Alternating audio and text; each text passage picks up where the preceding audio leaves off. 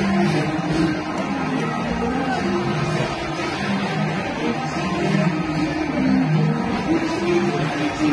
you.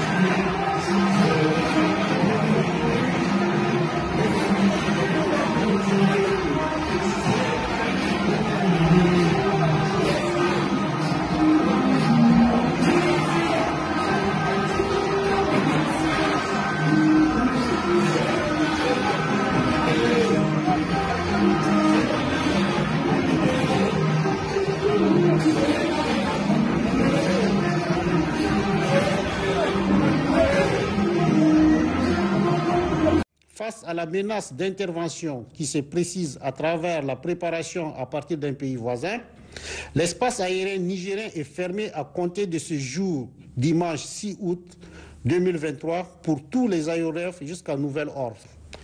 Toute tentative de violation de l'espace aérien national fera l'objet d'une riposte énergique et instantanée. Fait à Niamey le 6 août 2023, signé le président du Conseil national pour la sauvegarde de la patrie.